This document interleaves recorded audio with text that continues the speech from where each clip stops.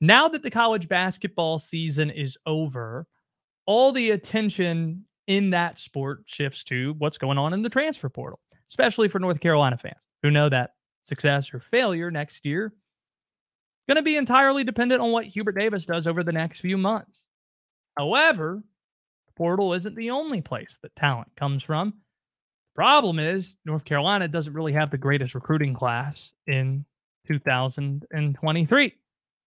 But they do have a great class in 24. And if you start to read the tea leaves, reclassification is going to be part of the solution for Carolina. Just put these facts side by side. Due to transfers, Carolina has five roster spots open, and they also have the number one recruiting class a year from now. Bunch of spots open, great recruiting class, number one class.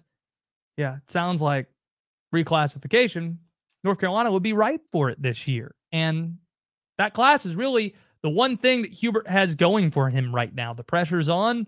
Some believe he has to perform next year or he might be in trouble. I don't happen to be one of those. I don't think he's on the hot seat that type of way, but there are some real incentive to get some of those guys playing for you right now, including the top player in the class, and that's the New York point guard, Ian Jackson. I think On3 has him as the second best player in the class. 24 7 has him as the fifth best player in the class.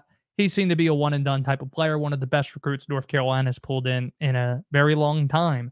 And it doesn't seem like the Tar Heels or Ian Jackson are all that opposed to the idea of reclassification. Adam Zagoria, who's one of the top hoop reporters out there based in New York, had a chance to speak with Ian, who told him while he's still planning to attend North Carolina next year or a year from now, enrolled for the 24 25 season, he says he's taking a look at reclassification, which is a big deal. And he says he's having conversations with fellow North Carolina commit and five star Elliot Cadeau about the subject, and that they're recruiting another five star player who's uncommitted right now from the state of New York to see if he wants to join the Tar Heels. Ian Jackson doing a lot of work here. And you might think, is Hubert Davis opposed to reclassification? He hasn't really welcomed one of those players in yet. Yeah, Hubert is receptive to it. He wanted GG Jackson to reclassify last year. Asked him that in April when they had the open roster spot before they brought in Pete Nance. He said he was going to look towards joining at about this time. And then after having a good summer, GG changed his mind and North Carolina didn't have a roster spot open.